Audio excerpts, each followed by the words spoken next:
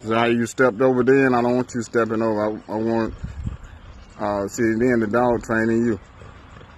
Sit. Catch your toe real light, real light.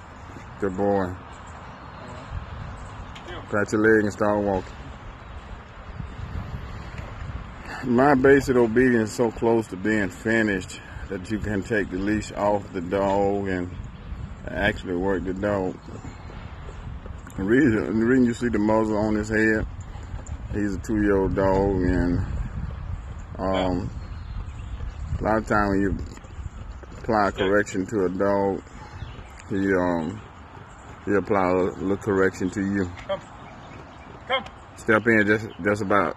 There you go. Now tell us the same thing. Tell tell him good boy. Good boy. Come.